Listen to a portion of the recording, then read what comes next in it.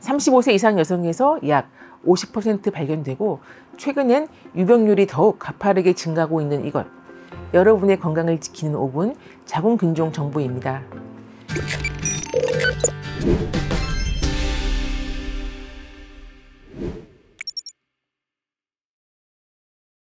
안녕하세요.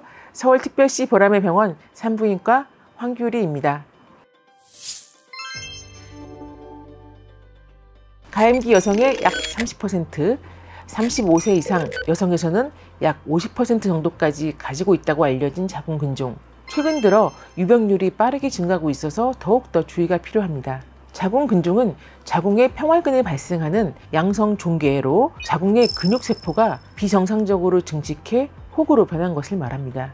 자궁근종은 세 가지로 분류할 수 있는데 근육층 내 발생하는 근층 내 근종, 근육 바깥 장막에 발생하는 장막하 근종, 자궁 안쪽 점막층에 발생하는 점막하 근종이 있습니다.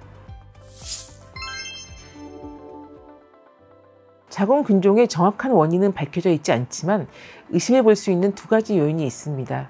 첫 번째는 유전 요인입니다. 가족 중에 자궁 근종을 가진 사람이 있다면 발병률이 높아질 가능성이 있다고 알려져 있습니다만 워낙 흔하게 발생하는 질환이라 한 가족에서만 특이하게 나타나는 희귀한 질환은 절대 아닌 거죠.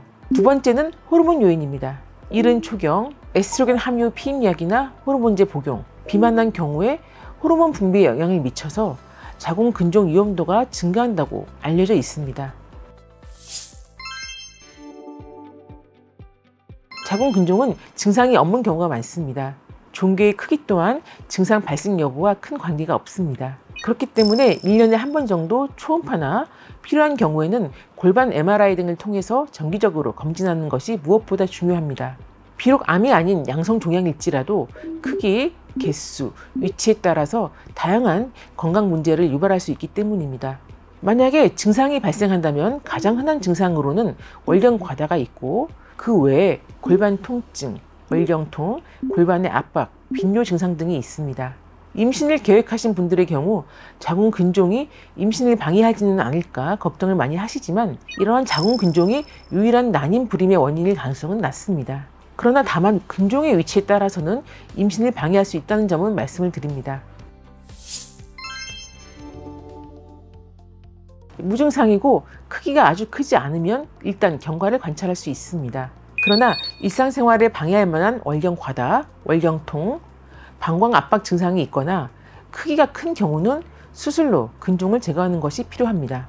요즘은 최소 침습 절개 방법으로 로봇 복강경을 이용한 근종 절제술이 많이 시행되고 있으나 크기가 매우 크거나 수술 후 바로 임신을 원하는 경우는 보다 안전하게 하복부 피부 절개를 해서 근종 제거술이 필요할 수도 있습니다.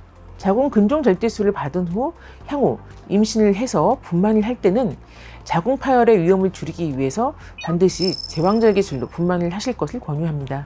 다만 자궁을 절제한 경우가 아니라면 이러한 자궁 근종 수술 이후에 재발 가능성은 다소 높습니다. 그렇기에 더 이상 출산을 원치 않으며 월경 과다, 월경통 등의 증상이 심하거나 근종이 너무 많거나 악성이 의심되는 경우에는 자궁 절제술을 고려할 수 있습니다.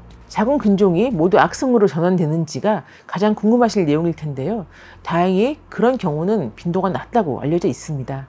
하지만 낮은 확률일지라도 자궁에서 보이는 종괴가 악성일 수는 분명히 있기 때문에 정기적인 추적 검사가 필요하고 종양의 크기가 빠른 속도로 커지는 경우나 비정상 자궁 출혈이 지속되는 경우는 수술 치료를 해서 제거를 하고 그 조직을 확인하는 것이 반드시 필요하겠습니다.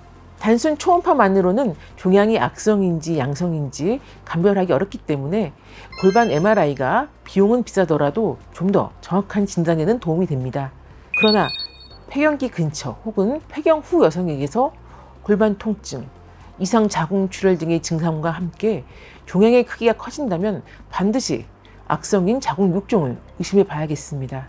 자궁 근종은 정기적으로 잘 검진을 받으시면 충분하게 관리가 가능한 질환입니다. 병을 방치해서 키우지 마시고 무증상이더라도 더군다나 증상이 있다면 더더욱에 산부인과에 방문하셔서 관련된 진료를 제대로 받아보실 것을 권유드립니다. 감사합니다.